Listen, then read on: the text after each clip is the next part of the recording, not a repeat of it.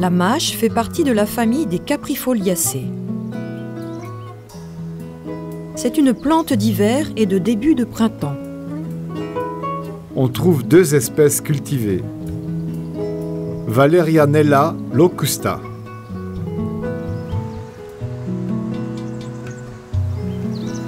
Et la Valerianella eriocarpa, plus délicate et cultivée principalement en Italie et dans le sud de la France.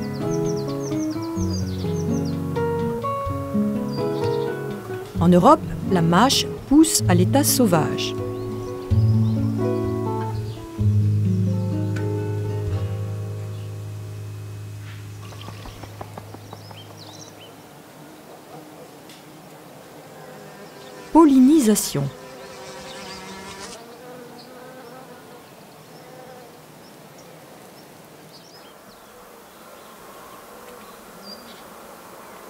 La mâche est une plante autogame.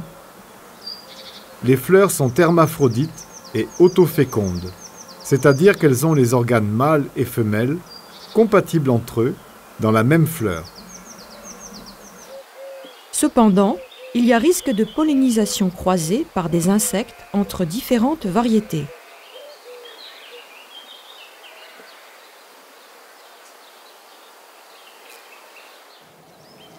Les deux espèces, Locusta et Eriocarpa, ne peuvent pas se croiser.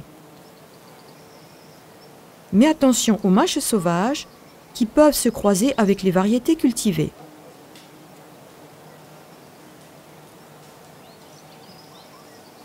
Afin d'éviter les croisements, on cultivera deux variétés de la même espèce de mâche avec une distance de 50 mètres entre elles. Cette distance peut être réduite à 30 mètres s'il existe une barrière naturelle comme une haie. Cycle de la mâche.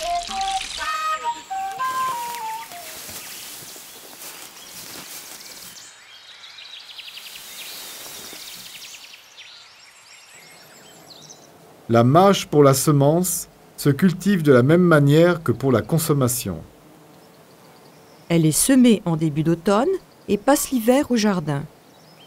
Elle montera en fleurs puis formera ses graines au printemps suivant.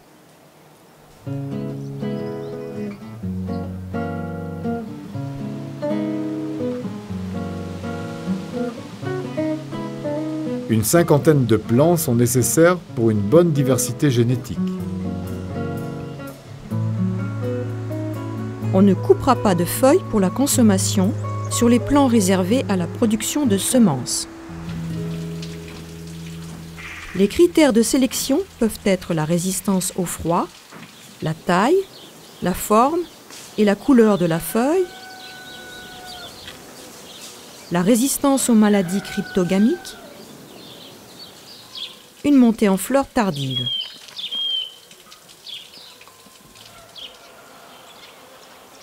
On aura soin d'éliminer les mâches hors type ou mal développées.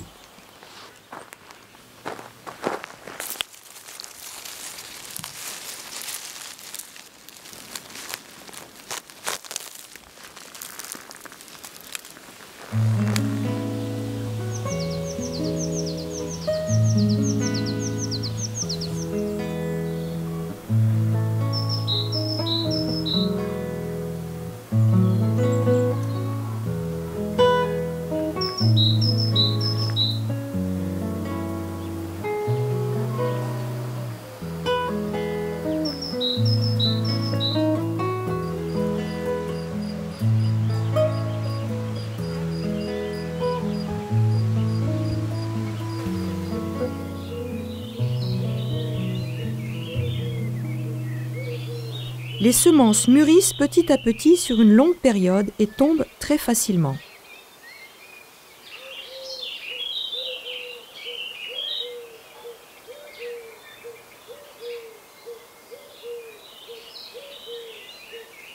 Il faut donc bien observer la maturité des porte-graines et ne pas attendre que les plantes soient entièrement sèches. L'idéal est de les récolter quand la moitié des semences sont mûres. Pour éviter de perdre trop de graines pendant la récolte, on aura soin d'étaler d'abord un drap au pied des plantes.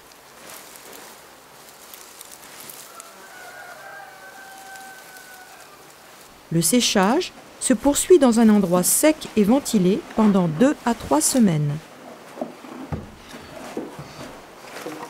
Pour éviter une surchauffe de la masse végétale, il ne faut pas entasser la récolte.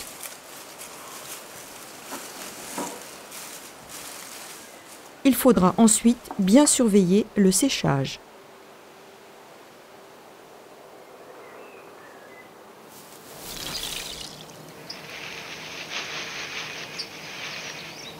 Extraction, tri, conservation. Pour extraire les graines, il suffit de frotter les plantes sèches un jour de beau temps. Ne cherchez pas à extraire les dernières petites graines, elles ne sont sûrement pas mûres. Pour le tri, on passe les graines dans différents tamis pour éliminer les pailles puis les petits déchets.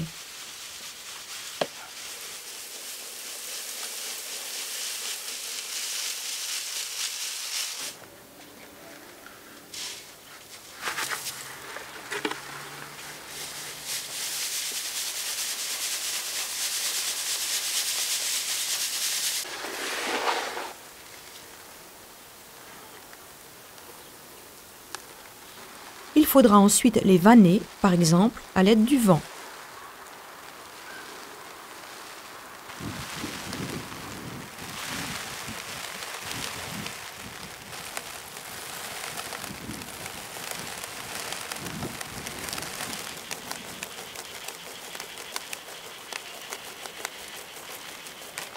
À ce stade, les graines n'ont pas leur couleur définitive. Elles vont foncer pendant le stockage.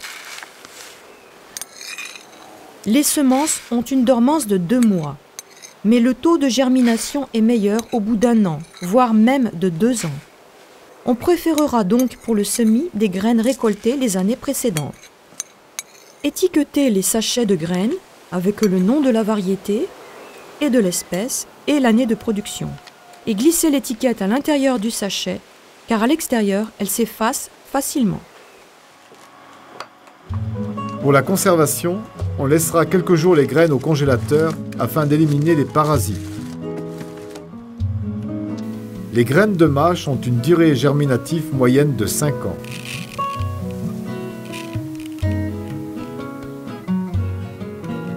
La conservation à basse température prolonge cette durée.